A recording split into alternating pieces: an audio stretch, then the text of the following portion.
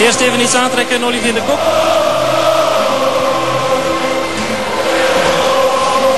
Olivier, gefeliciteerd. Het was een eh, harde wedstrijd achteraan voor jullie.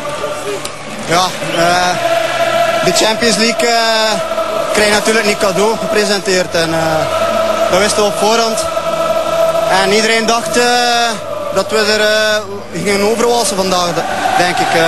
Iedereen sprak al over de Champions League, maar niemand wist... eh, iedereen eh, wist natuurlijk dat, eh, dat we nog een wedstrijd moesten spelen. En, het was heel zwaar, maar ik denk dat we verdiend door